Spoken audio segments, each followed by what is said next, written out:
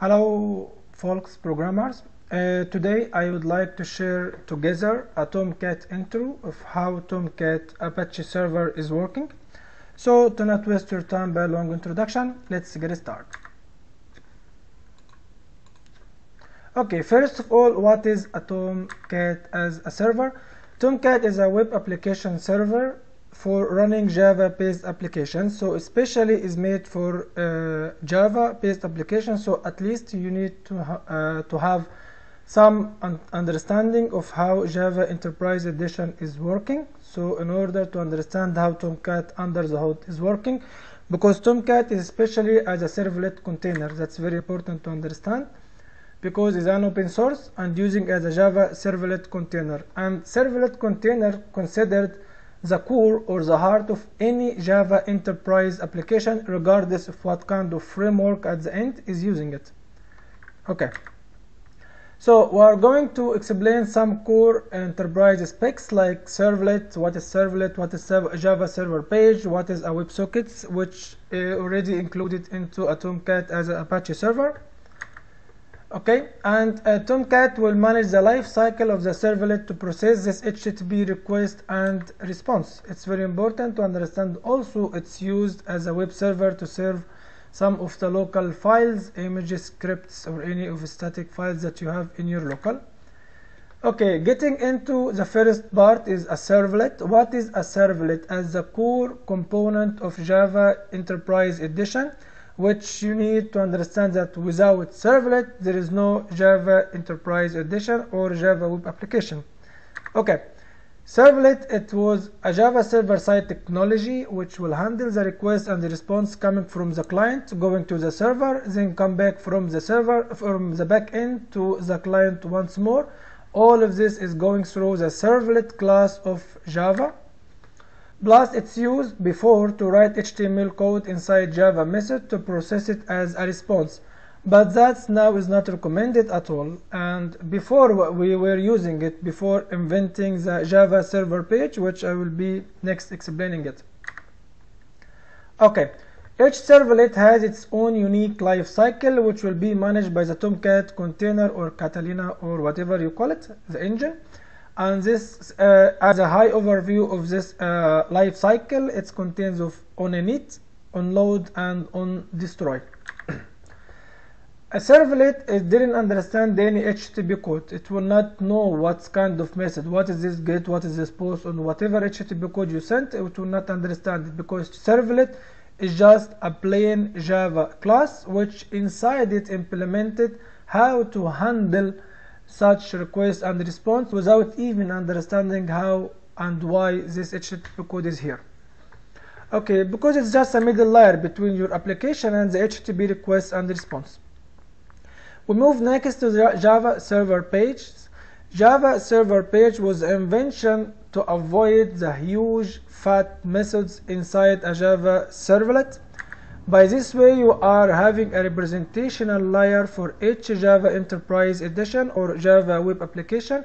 We have a separate HTML file but the extension will be instead of .html will be .jsp which allows us in the future to write Java code inside HTML tags because HTML itself will not allow you to write any code or any Java code inside but by the extension of the JSP will be able to detect some of the representational uh, methods like something like for each or uh, on uh, for example if switches or whatever what kind of message you are going to use to dynamically represent to hide the data or manipulating the data on the front end part. JSP at the end will be converted into servlet and that will be done using the Jasper component of the uh, Tomcat server itself will convert this JSP into a servlet at the end now we are moving into a WebSocket. WebSocket is only bi-directional protocol that is used for client-server communication and it will starting by WebSocket WS instead of HTTP or HTTPS our WSS for security. And it's a stateful protocol as we explained before on one of my videos about how internet is working that HTTP is a stateless protocol. So we have here WebSocket is a stateful protocol which means the connection will be always alive until one of, of uh, server or the client terminated this connection it's used for real-time updates or continuous streaming of data uh, over the network, something like chats, gaming, connections of real, real lifetime, whatever. The most uh, famous example of that is the phone call when you contact someone. The connection between both of you will be always continuous to work, except if someone, if you decide to terminate the connection. Okay, after understanding the WebSocket, it's time to move to understand the Tomcat components themselves. We have three main components in Tomcat. We're starting by Catalina. Catalina is used to handle the request between the servlet and the rest of your Tomcat container itself, which will decide where this URL is going to, what kind of resources you need to get, what kind of application inside your server you need to communicate with, because in some servers you can have like a lot of applications. So this request coming to which application exactly? That's what we need to do by using Catalina. It's such as you are routing to different servlet or different application inside your uh, server. And we have now Jasper. Jasper which will be the, uh, the responsible of compiling your JSP into a servlet. Also it's using in runtime Jasper will detect any change to JSP file and will recompile them by itself. It's like a watcher is working that uh, you don't need to recompile the whole application. If you are working on just a JSP file, you just need to type your codes. After that, you save it, refresh, and you will find your changes already detected on the front end part. So there is no need to recompile the whole application because Jasper will be watching that for you. Now we have Coyote. Coyote, it will handle the actual HTTP connection, communication between them as a connector, you know. This connector, like HTTP connector, AJP connector, or whatever, what kind of connector you can have inside your uh, server. Coyote will be doing that also to serve the static files that you have it in some places in your application, such as its folder or translation or what kind of static files that you decide to use. That these are the main component of Tomcat. Now we are moving to the architecture of Tomcat itself, how the architecture is built, how Tomcat is working under the hood. we have a server. In this server, it will contain several services and also listeners and to interact with some events. A specific event is something like clicks on specific resources. If you want to catch these events, you can in the configuration file of your server you can decide what kind of listener and what kind of events you would like to interact. It's up to your needs because you decide what this listener to do. Inside this server will reside a service which could be uh, more than one service inside it. But inside this service, you will have a collection of one or more connectors. These connectors, as we explained before, like HTTP, HTTPS connectors, AJP or whatever what kind of connectors you are using it. And this service will share a single connector at a time to response and request handling between this service and that will take us into the engine of Catalina.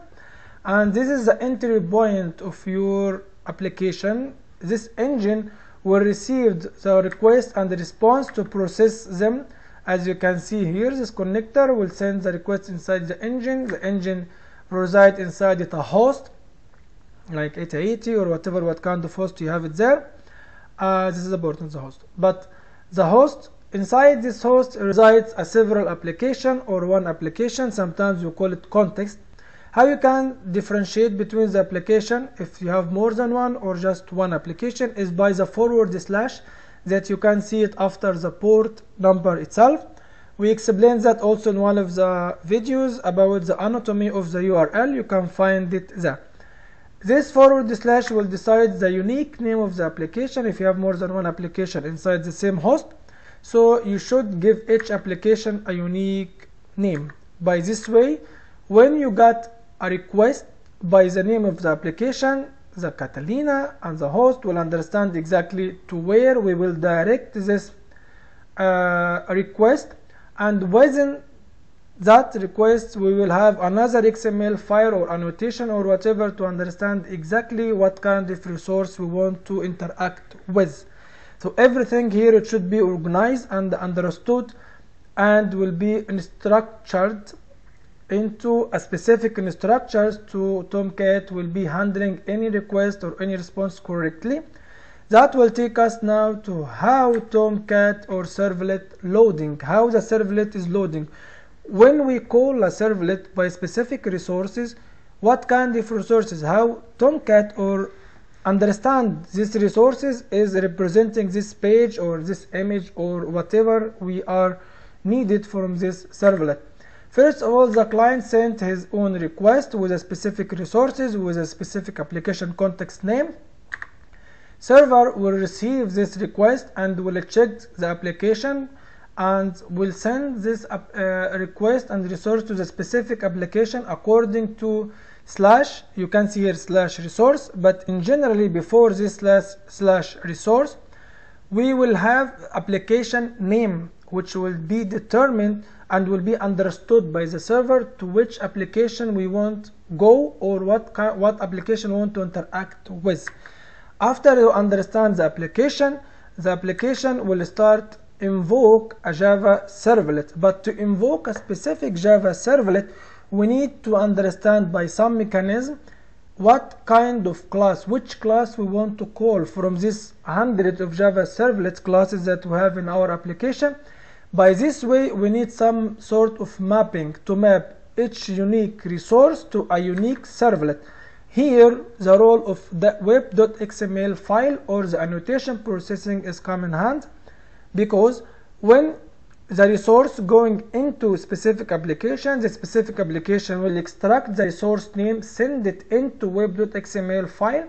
This web.xml file will check the resource name and will start compare the names of the resources with a lot of Java servlets.